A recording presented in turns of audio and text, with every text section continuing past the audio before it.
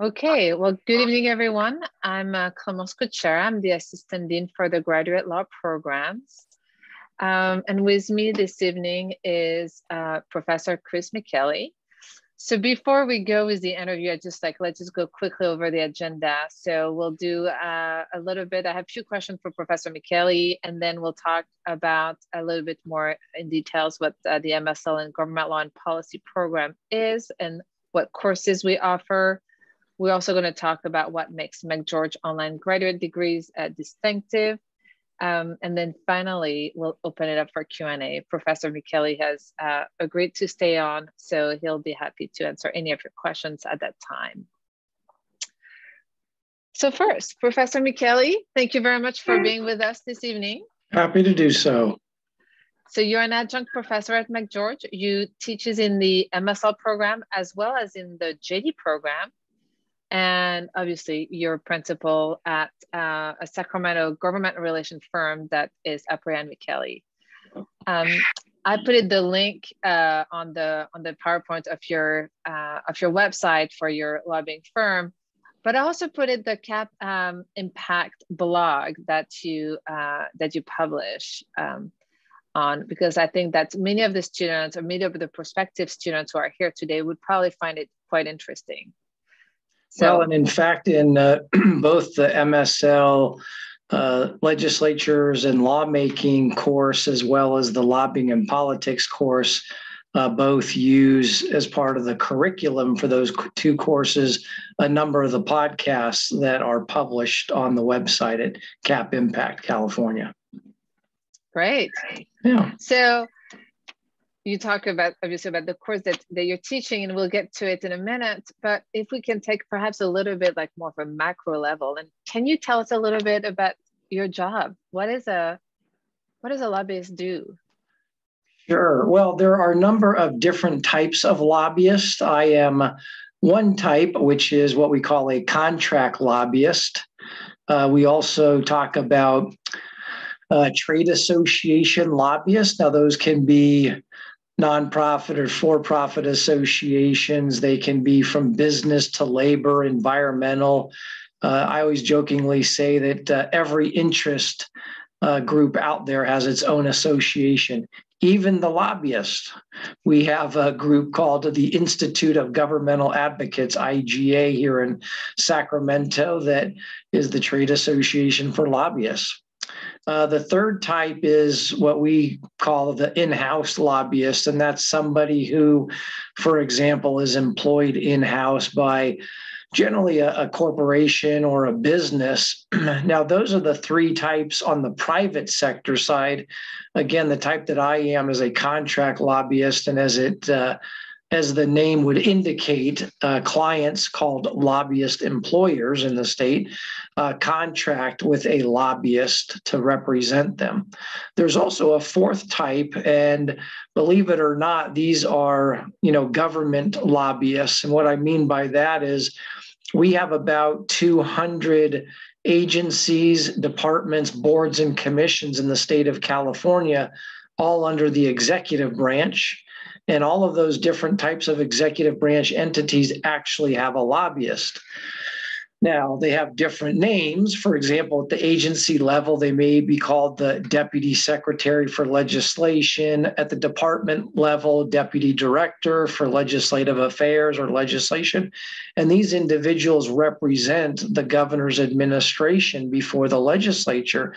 So whether it's you know, the Department of Motor Vehicles or Caltrans or uh, the Environmental Protection Agency, all those different executive branch agencies have lobbyists themselves on behalf of the administration. So those are the four types of lobbyists. You ask, you know, what I do, what my colleagues do. Essentially, we represent our clients. Now, again, somebody who is in house or with a trade association they have that one individual client, as does the public sector lobbyist. And by the way, there are also local government lobbyists. For example, what for the past 17 years or so, I've represented uh, the third largest and the and the largest in the state transit agency. That's Los Angeles County Metropolitan Transportation Authority, LA Metro. And my client, the deputy executive officer, and he has two individuals that work for him. They're also lobbyists, but they're employed by a local transit agency you know, even some of the local governments, counties, cities, special districts have lobbyists as well. And all of us represent our clients before most of us do exclusively, most of my colleagues, the legislative branch, meaning we lobby the legislature, the assembly, and the Senate. Uh, a handful of us also do regulatory agency lobbying. So we lobby these state agencies in their quasi legislative or when they develop and adopt rules or regulations. We lobby those agencies and those departments on their rulemaking activities as well. So, again, what a lobbyist generally does is represent his or her clients. We advocate, we educate, um, you know, legislators appointed officials in those state agencies, and of course their staff, uh, who are invaluable in advising legislators and the committees about our clients and what they do and their issues and their perspectives on legislation and or regulations. Thank you. Um, and so why is having a legal background so important for a lobbyist? Obviously, you mentioned there are a lot of different type of lobbyists, and I'm assuming many of them don't have necessarily a legal background. So perhaps if I could rephrase a little bit my question is, how is having a legal background helping uh, someone who wants to enter or who, who works uh, as a lobbyist? Well, I guess there are two things. You know, first, whether it's the legislative process with our legislative branch of government, you know, assembly members and senators. And of course, the governor plays a critical role because he signs or vetoes those bills. But understanding laws, understanding how they're written, how they're developed, and how they're implemented, interpreted, and even enforced, as well as the other set of laws, the regulations um, is very valuable for a lobbyist to have that understanding. The other piece of it is the skills that you develop, whether it's your research or analytical skills, certainly your oral and written advocacy skills that you can develop um, in either law school or in McGeorge's MSL program is invaluable as a lobbyist because that is what you're doing on a day-to-day basis. You know behind the scenes you're reading you're analyzing you're developing fact sheets you're interpreting what are perhaps deficiencies in the laws or changes that need to be made. You might help draft that legislation or regulatory changes. And then that's sort of, you know, behind the scenes. And then out in front is the advocacy, whether you're writing a fact sheet, an advocacy letter, testifying before a legislative committee or a regulatory agency. You know, those skills are things that you could develop in this program and so having those skills and that knowledge is invaluable to being a successful lobbyist. So, so my next question was was going to be about like someone who doesn't necessarily wants to be a lobbyist, but who wants to expand a little bit. Just let's say a legislative career, you know, at large, there's so many things that one can do. Is your answer the same about how valuable having a legal background is? Or are there specific yes, because, positions? Oh, sorry, sorry to no, interrupt no, you, Dean. no, no, go ahead, go ahead. Well, what I yes, I mean the answer is yes. Whether you're advocating from the outside or you know whether you're committee staff, meaning you staff legislative committees. You know, perhaps you work at a rulemaking agency, whether it's on the, you know, legal side, the legislative side, uh, if you work, uh, you know, for an individual legislator, an elected official, or perhaps an appointed official in a state agency, again, the MSL program or the JD program are, are invaluable for many of the same reasons that they're invaluable to being a successful lobbyist. You know, again, whether you're working in the legislative branch or in the executive branch, you are working on developing, analyzing, interpreting statutes on the on the legislative side, regulations on the executive branch side, and you're advocating in many instances. You're advocating your, you know, your legislator bosses. Uh, specific bills, their legislative package, uh, or perhaps your agency's interpretation of a statute or its implementation of a regulation. So, the same skills that you are utilizing as a lobbyist, you're going to utilize also as in a legislative or executive branch career as well, I think. Um, do you know on the top of your head how many uh, people work uh, for the legislature? Uh, broadly defined, you know? Yeah, broadly, there's about 2,500 or so between the two houses, um, as well as the committees in both the Assembly and the Senate. And then, of course, you have several thousand gubernatorial appointees. Now, that doesn't include the obviously tens of thousands of career civil service people who work in you know different state agencies and departments boards commissions bureaus et cetera. But i'm talking about those gubernatorial appointees at the higher levels. You know that's that's about 4000 gubernatorial appointees throughout state government.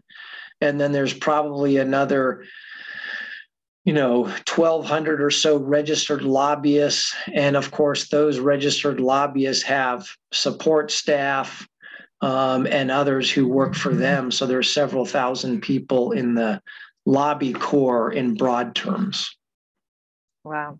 And I'm assuming this model, although that's just, by the way. Dean, sorry to interrupt, but that's just in Sacramento. You know, obviously we have over, not obviously, we have lobbyists and those who support lobbyists at the federal level.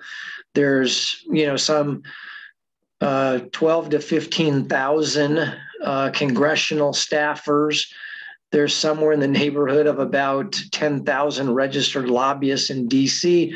And then, of course, you have all the folks at the local level, whether it's here in Sacramento, at the city council level or board of supervisors, certainly all the major cities from, you know, San Francisco, San Jose, Bakersfield, Fresno, down into Los Angeles, Orange County, San Diego, et cetera. You've got lobbyists operating at the local level.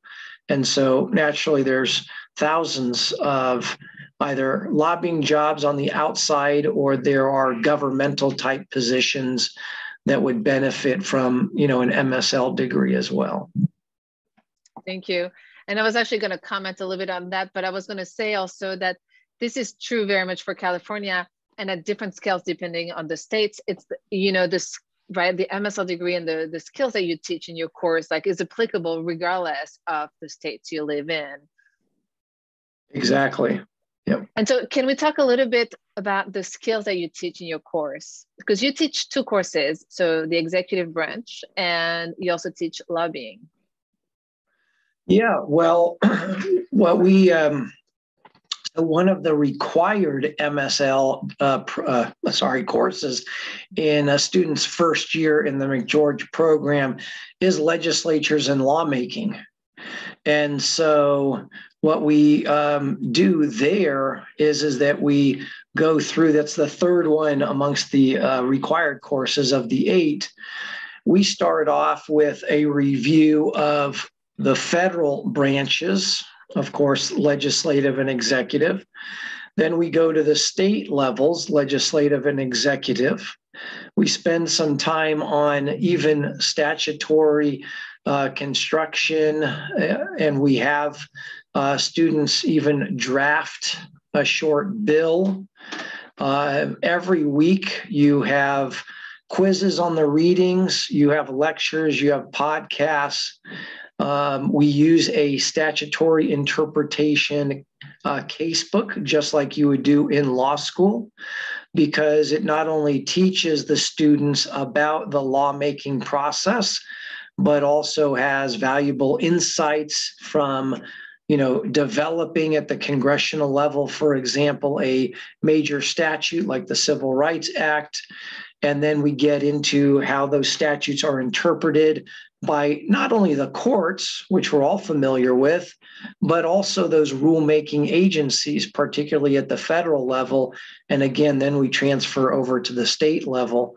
And so you're getting the same sorts of, you know, statutory interpretation uh, skills.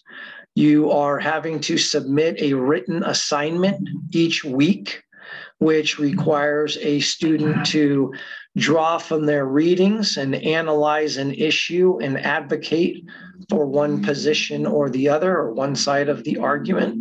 And then, as I said, in our concluding weeks of the legislatures and lawmaking course, students are drafting a bill themselves.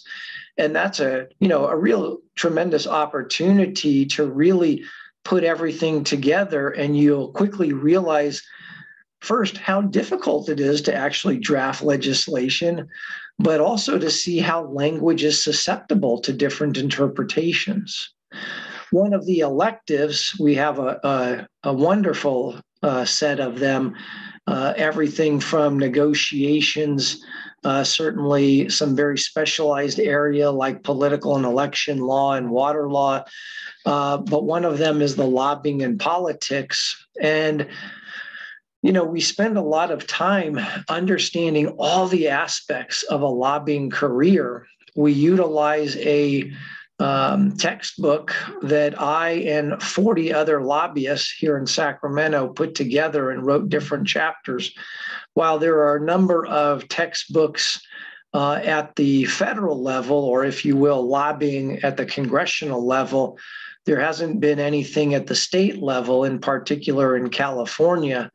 And so, 40, as I said, 40 or so lobbyists wrote about 45 chapters of this book.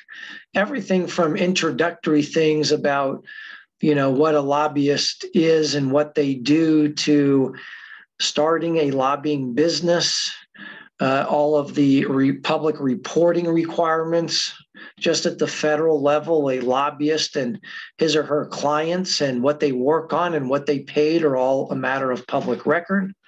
We talk about the different types of lobbying, certainly the main ones, legislative and regulatory, but then some specialized things from the state budget to we have specialized lobbying at the Public Utilities Commission, at the California Transportation Commission, the California Coastal Commission. These are areas, these are executive branch agencies uh, where lobbyists specialize in that area. And so we have a handful of lobbyists who just work at the PUC or the CTC and the Coastal Commission. And so students learn about that and go through exercises about you know being a lobbyist and understanding the laws. There are many ethical rules for operating at the local state and federal levels as a lobbyist and those are all the types of things that we walk through.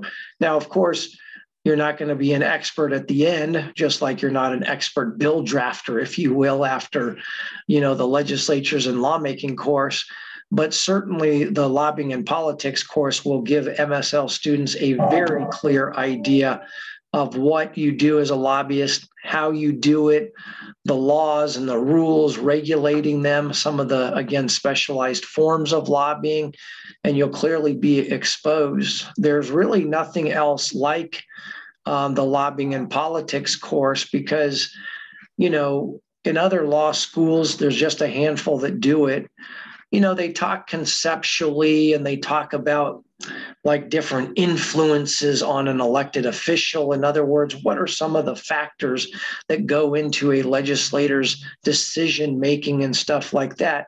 Sort of looking at, you know, lobbyists and lobbying from more of an academic place this is a very practical teaching you you know practical skills. And again the aspects of what do you do every day? How do you write an effective advocacy letter?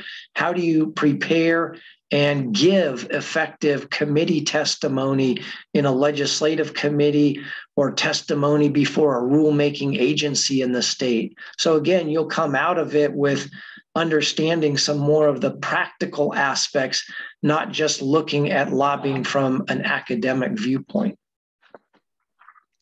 Thank you.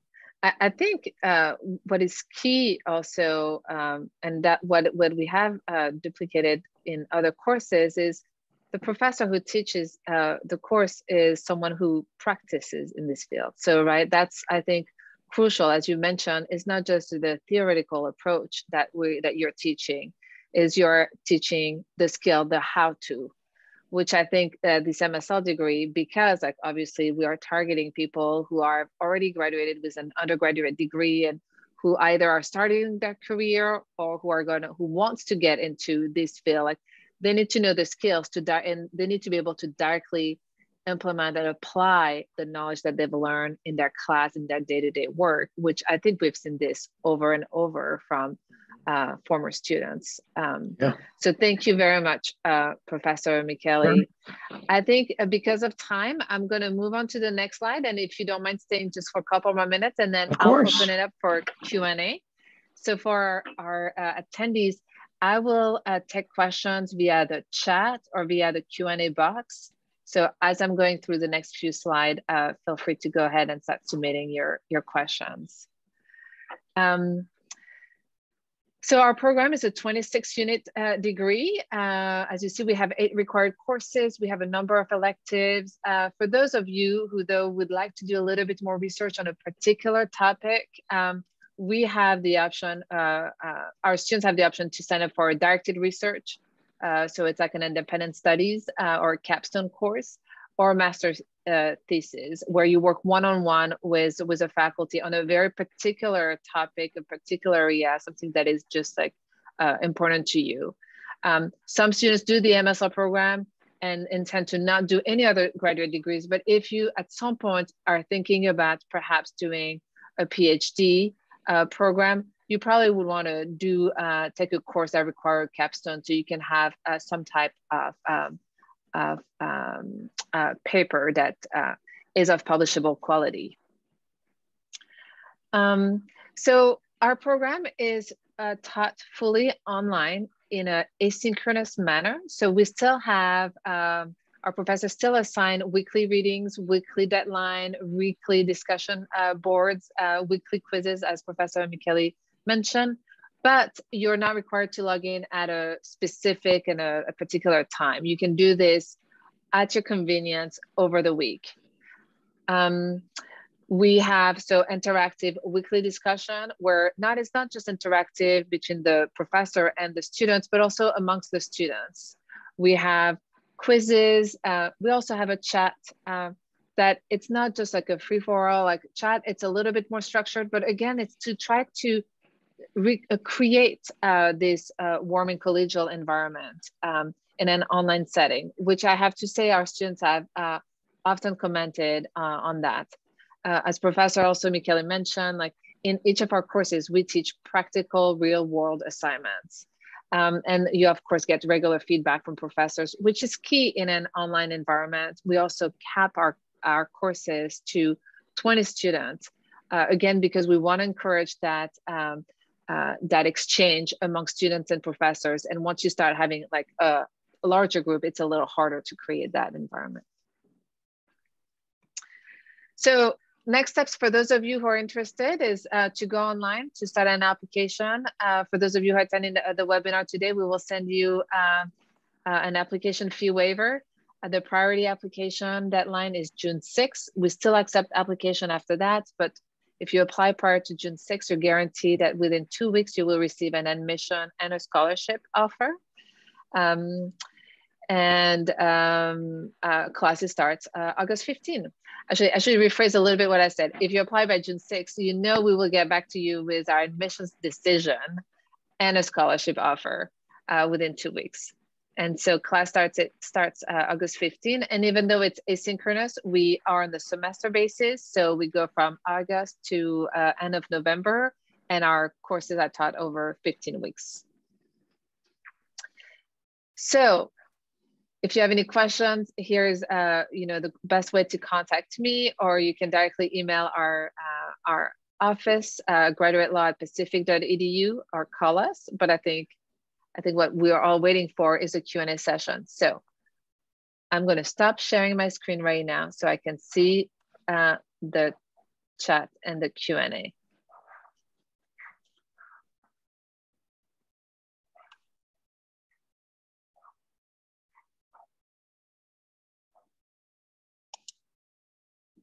So don't be shy.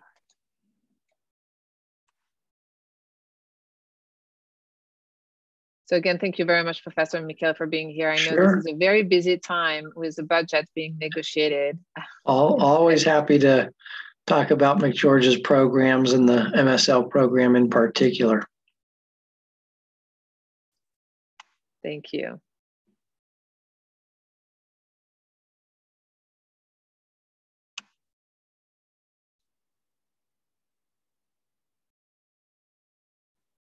I'm going to try to be a little bit more, uh, give our, our guests uh, a little bit more time, but please really don't hesitate to ask questions either about the course, about the application process.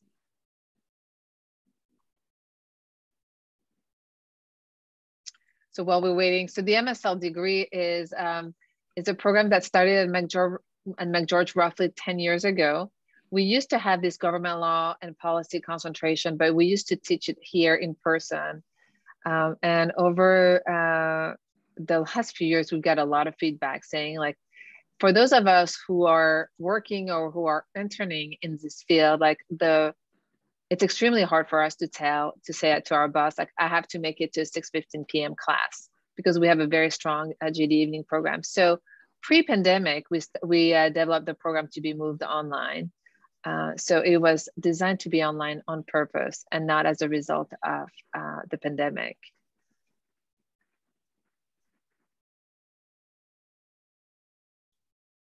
Well, there's still a lot of interaction between both students and professors. I mean, every week we have required postings, not just that uh, between the professors and the students, but also the students themselves, just like you would have that sort of interaction in a classroom setting.